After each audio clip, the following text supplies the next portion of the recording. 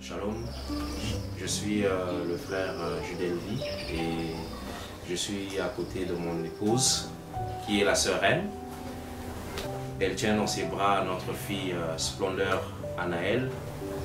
Et nous allons parler un peu de l'histoire de la naissance de notre fille Splendeur qui est née le 30 août de l'année dernière, donc en 2023, et qui aujourd'hui a 3 à 9 mois. Et ce mois-ci, elle aura 10 mois. Alors, Splendeur est née normalement et quelques mois plus tard, nous avons découvert une anomalie au niveau de son œil gauche. Il y avait une petite tache blanche qui apparaissait au niveau de son œil. Et ce qui nous a conduit à voir les médecins pour voir qu'est-ce qui n'allait pas par rapport à, son œil. Et nous avons fait des examens, les premiers examens, nous avons eu à les faire. Nous avons été recommandés chez un médecin et c'est ce médecin-là qui euh, nous a reçus et en nous recevant, il nous a clairement dit que l'enfant, par rapport à l'état de l'œil de l'enfant, il est question qu'on arrache l'œil, qu'on extrait l'œil de l'enfant pour après peut-être mettre une prothèse.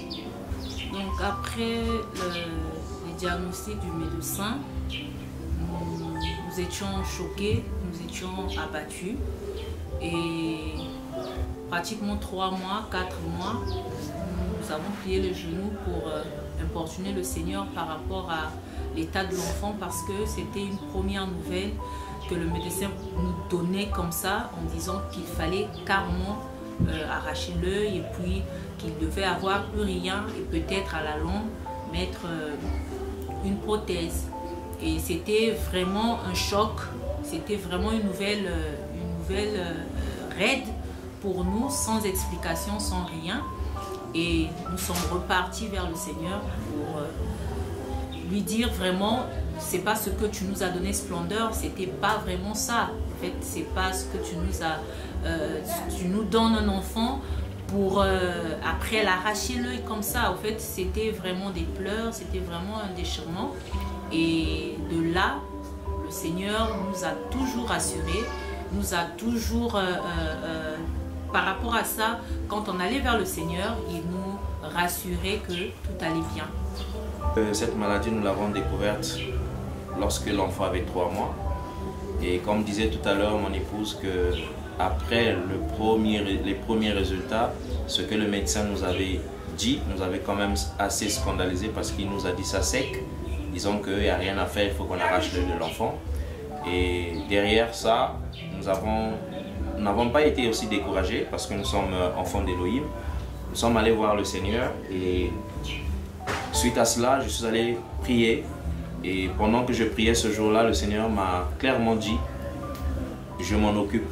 La réponse du Seigneur par rapport à la situation de l'enfant, quand je lui ai présenté, il me l'a répété, il a dit, je m'en occupe. Et nous avons reçu cette parole, ça nous a fortifiés, ça nous a encouragés, ça nous a donné la possibilité de continuer à croire parce que le Seigneur était là présent, il ne nous avait pas abandonnés par rapport à cette situation-là. Et nous avons prié et toutes les fois que nous étions dans la présence du Seigneur par rapport à l'enfant, il ne cessait de nous reconforter, nous disant, ne vous inquiétez pas pour elle, tout va bien. Et quelques temps plus tard, une mission nous avait été euh, annoncée, notamment sur Brazzaville et Pointe-Noire. Donc il devait avoir une mission de 15 jours, Brazzaville et Pointe-Noire. Mais euh, ensuite, la mission a été sectionnée, donc euh, ça s'est arrêté sur Brazzaville pour 4 jours. Et avant cette mission-là, donc euh, quand nous avons eu l'information sur la mission, nous avons continué à prier le Seigneur, en tout cas, et il était prévu que j'aille seul sur Brazzaville pour participer à la mission. Et le Seigneur n'a pas voulu ainsi, il a voulu aussi que moi et mon épouse, ainsi que les enfants, que nous nous rendions sur Brazzaville par rapport à cette mission. Et j'aimerais dire ici que avant de prendre la décision de se rendre à Brazzaville, moi et mon épouse ainsi que l'enfant, j'ai eu un songe dans lequel le Seigneur m'a clairement parlé par rapport à la situation de l'enfant. Et je me trouvais dans ce songe par rapport à cette mission aussi. Donc nous étions au programme de Brazzaville et le frère qui était en train de prêcher nous avait appelé avec un autre frère Et nous avait remis un plat, un plateau sur lequel il y avait des assiettes et des mets, des mets différents et des quantités aussi différentes. Et nous distribuions en fait ces mets à plusieurs personnes. Et quand on a fini, le frère qui prêchait a pris, euh, a vu ma femme avec l'enfant, a pris l'enfant. Et dès qu'il a pris l'enfant, il a dit, on s'en occupe.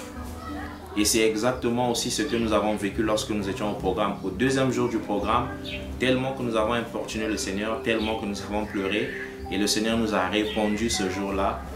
On a pleuré mon épouse et en lui disant que le Seigneur me met à cœur que nous devons nous charger de, des soins de cet enfant. C'est exactement ce que le Seigneur m'avait montré en songe et c'est exactement ce que nous avons vécu en témoignage devant le peuple du Seigneur.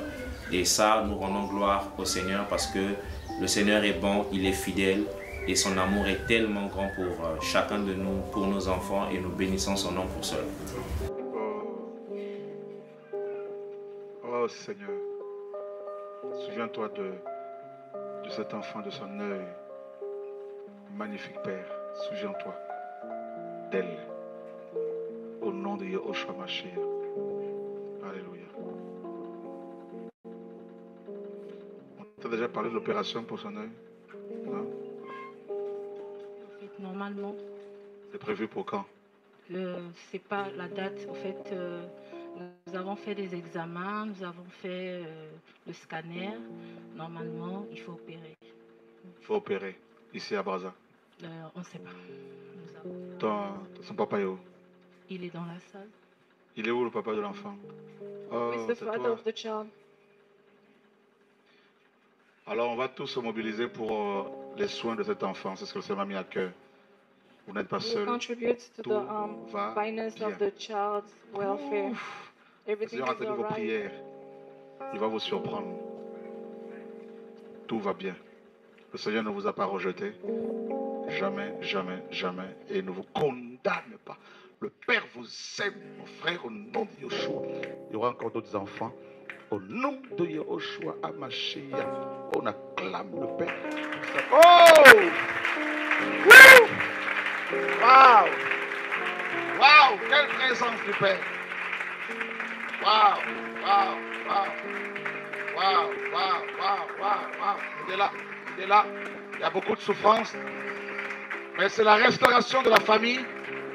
L'œil de cet enfant-là va être restauré. Au nom de...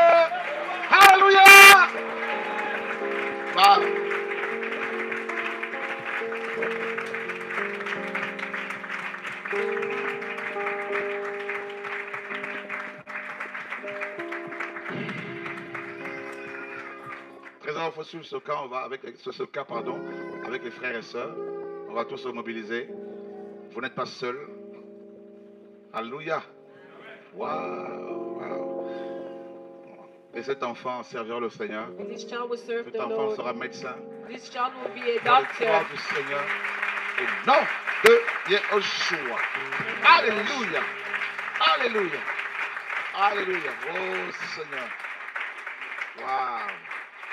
Au nom de, toute ma famille et aussi euh, de mes enfants qui sont là, nous voulons remercier le Seigneur pour euh, sa grâce, remercier le Seigneur pour son amour et pour cette fidélité-là qu'il a témoigné lors de ce programme. Vraiment, nous voulons le rendre toute la gloire parce qu'il le mérite. Et nous remercions aussi tous les frères et sœurs qui ont eu à cœur euh, de vouloir nous soutenir dans cette, euh, dans cette, épreuve et aussi se lever pour apporter les soins à cet enfant. Et nous bénissons vraiment le Seigneur pour cela, que Yahweh, notre Elohim, se souvienne de chacun d'entre vous et que la gloire lui soit rendue au nom de Yehoshua Mashiach.